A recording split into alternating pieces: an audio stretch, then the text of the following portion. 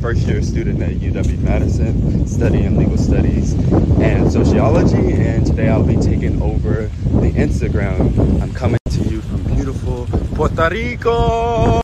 We're here part of a first year interest group where we are learning about environmental restoration, ecological restoration as a tool of civic engagement. So we're here in Puerto Rico helping restore mangroves and sand.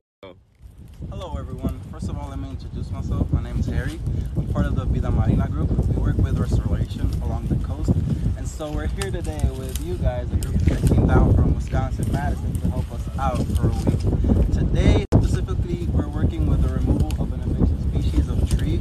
It's an Australian pine. It grows a lot, it grows quick, and wherever it grows, it prevents other plants from growing. So we try to remove them just to plant and replant the area with native species of plants.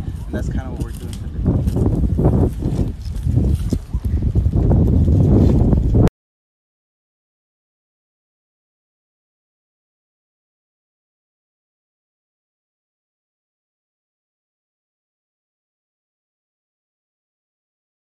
Yesterday we had an opportunity to see leatherback sea turtles be released into the ocean. And here's some pictures of that.